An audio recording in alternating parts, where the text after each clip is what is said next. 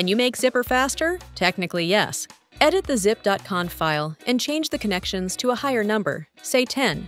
But remember that this isn't a one way street, both ends need to play in the game. The server that you connect to needs to have additional connections. But if a server is full, then adding additional connections to Zypper may actually slow everyone down. Now update your newly installed OS. Yes, you still need to do that when you first install. Now if you're running Tumbleweed, you should zypper dup.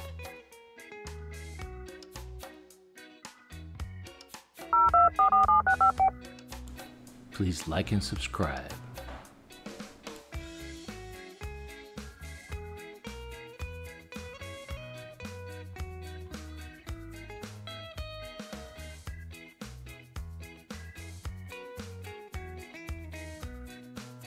Zypper dup is your upgrade path to the next release version.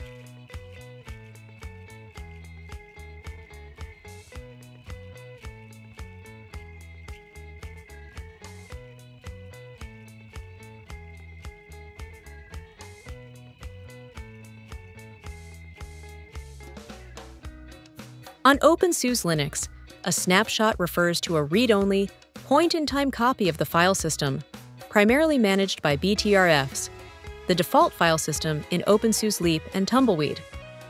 Snapshots are used for system recovery, rollback, and tracking system changes. How snapshots work. Created by Snapper.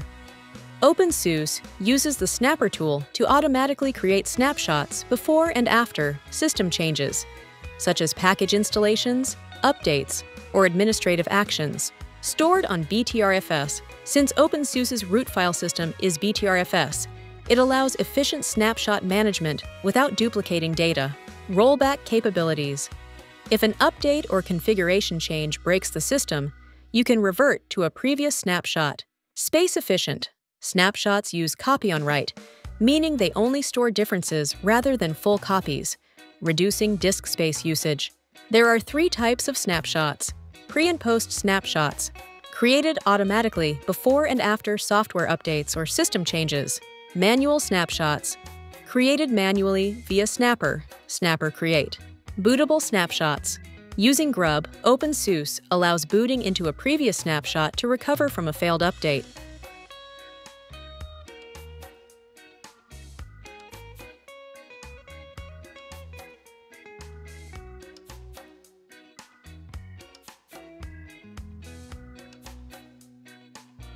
This one always bothers me. Set the host name. Why can't they ask for this at installation? Please, please, OpenSUSE, fix this. So just set your host name when you finish an install. If you don't get into your network, or don't want people at work to know who just got onto the guest Wi Fi, you don't need to set it. But it is a pet peeve of mine.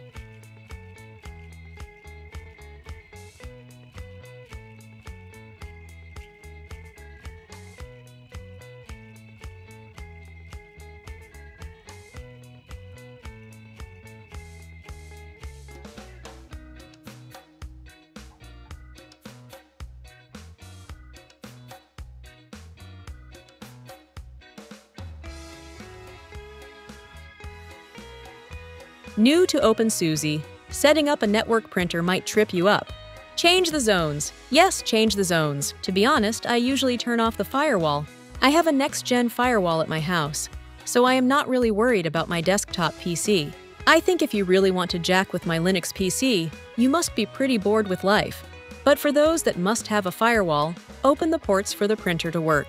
By default, the home zone has this setting already set up. OpenSUSE, why don't you have this set by default?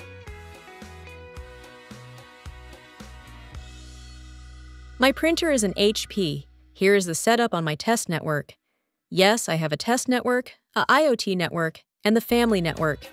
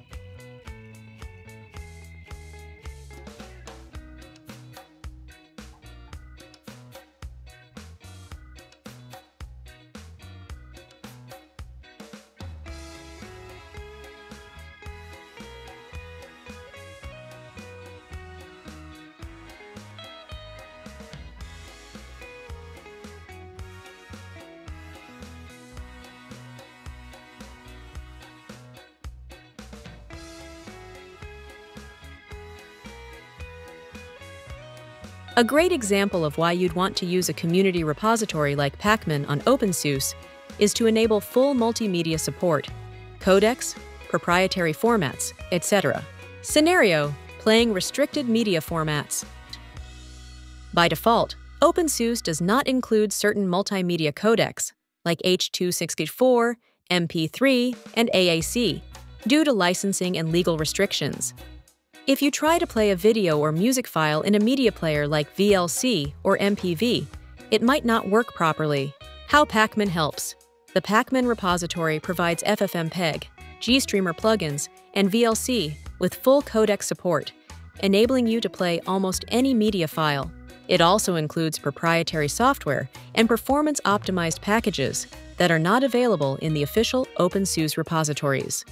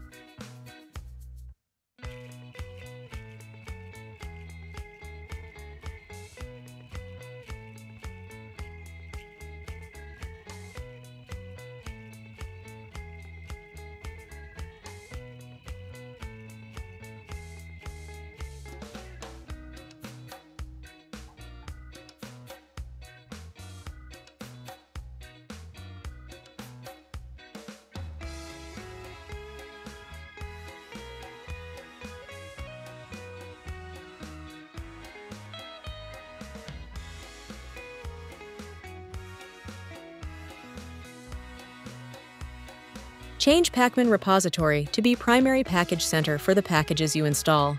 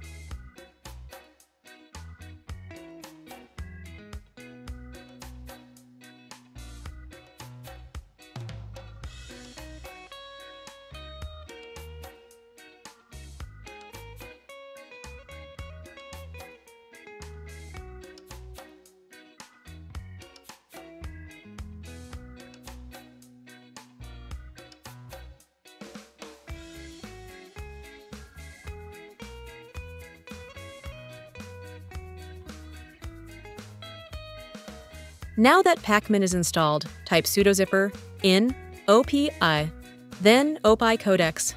Don't forget the S on the end, just like on the screen.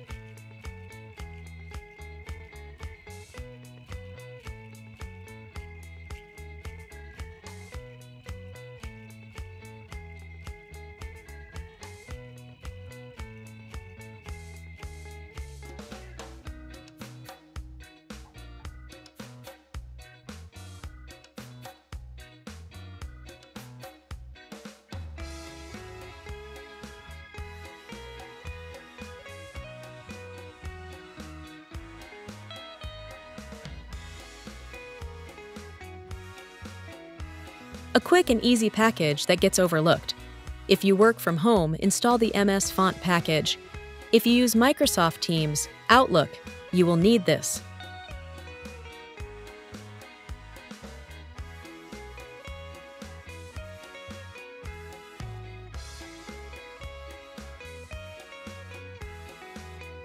Don't want to wait that 8 seconds at startup. Change the bootloader time. I usually set it to 1 or 2. Remember those snapshots that we looked at earlier? Well, this is where it comes into play, and if you set the bootloader to zero, you may not be easily able to recover your system with a zero setting.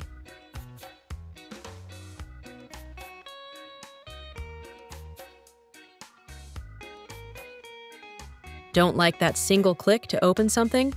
I like the double click behavior, something small, but this helps with the frustration.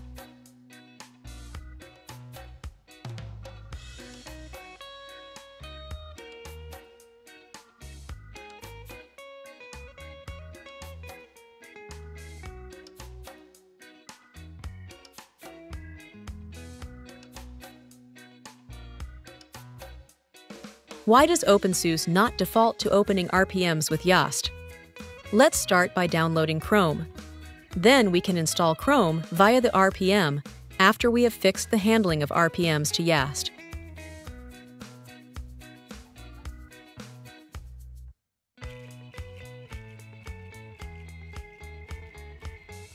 Right-click the file, then select Properties, then select Change, and move the Yast selection to the top.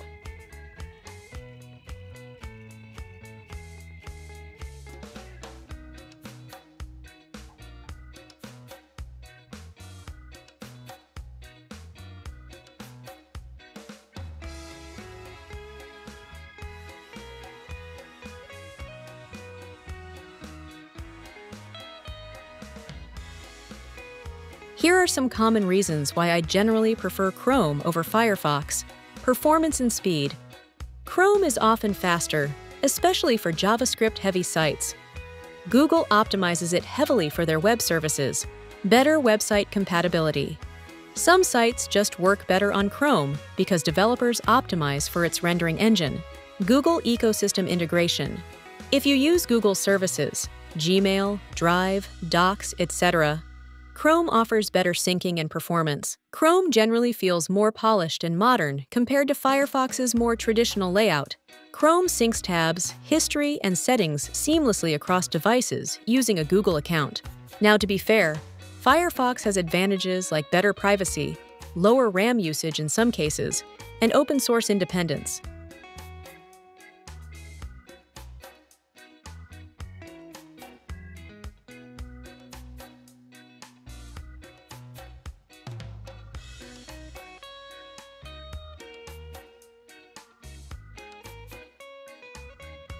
Find your eyes tired at night while staring at the computer, or just can't fall asleep after playing games for hours at a time. Try the night color option for your monitors. Your eyes might like it. If you set the location to manual, you will need to choose your geolocation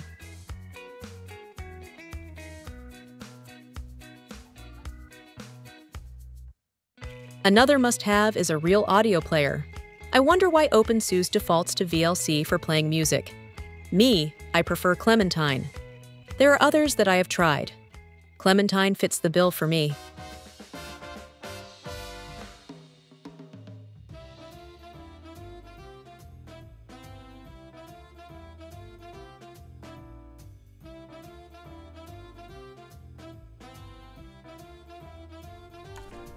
I see a lot of people wanting to remove Discover. You know, they like Yast on OpenSUSE. But I say let, let's change Discover and make it just do Flatpak installations. Um, just install uh, Flatpak with Zypper and then add the additional package called Discover Backend Flatpak. Uh, this package will allow Discover to manage Flatpak applications and finally the Flatpak repository, you need to add that also. Uh, the default task switcher in KDE is on the left side of the active screen. Really does not do it for me. I like the task switcher in larger icons in the center of the screen. Easy to change.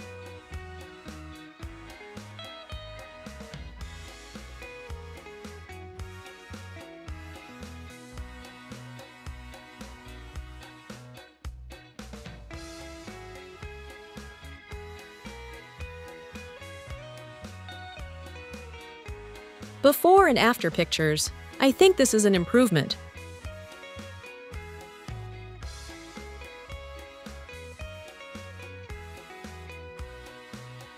Here are a few more bonus or runner-ups that I didn't think were worthy of a spot on my list.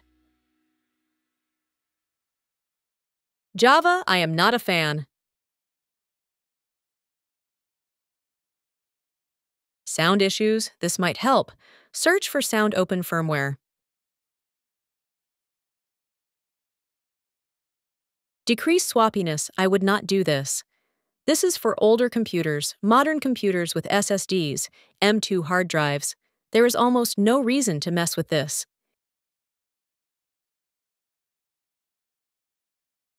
Remember, this isn't a how-to video, it's just how I do it.